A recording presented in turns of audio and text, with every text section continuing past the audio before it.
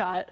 You have to go to my Facebook though because I put a picture of him smiling and then it really will change the way that you think of him once you see his teeth. All right, anyway, downtown, things are looking really nice here in downtown Bakersfield. That cloud coverage is really starting to set in and cooling things down in just a couple hours. But if it felt like the longest day of the year, it's because it was. I'll have more on that summer solstice coming up.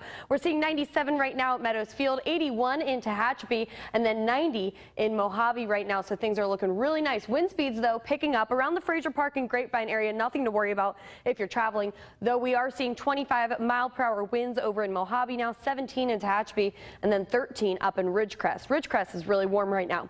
As far as the ground, we are seeing some scattered ground clutter, but that's about it. No precipitation in, in uh, sight, according to our Storm Shield Doppler as we sweep our radar.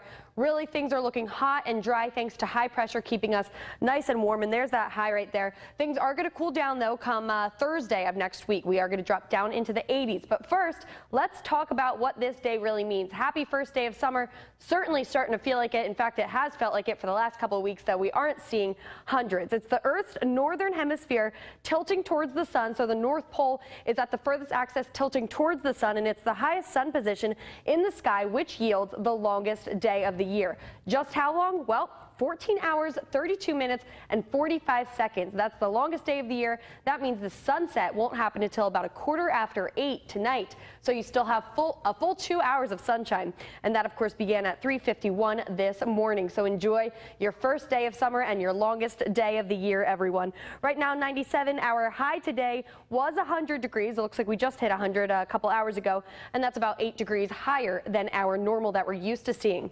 Looking at our AQI index tomorrow, we will be in the moderate range. It is unhealthy for sensitive groups, however, though, right now. 79 up in South Lake Tahoe tomorrow, and then 99 in Fresno, 69 up in San Francisco, 87 in uh, Solvang, 70s in Santa Barbara and Ventura, and then down in Southern California, we'll get up to about 81 in Disneyland. Great day for those parks, and then 108 in Palm Springs. Here in the valley, though, looks like 98 is going to be that magic number tomorrow with overnight lows in the 60s.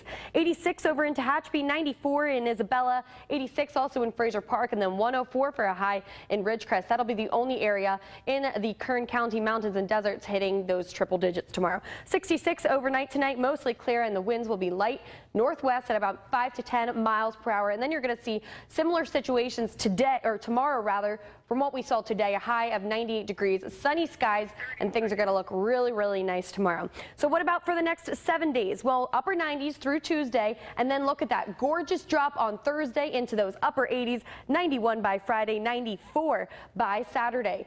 And so things are looking really nice. Overnight lows there in the 60s over in our Kern River Valley. Breezy conditions midweek, 90 by this time next week. And then finally in our mountain range, we're going to see breezy conditions, possibly a wind advisory throughout the entire week next week. Overnight lows in the 50s, though, but 80s by Thursday. Something to look forward to. Overall, in summer, that's looking good. Absolutely. Thanks, Lauren. Mm -hmm. All right.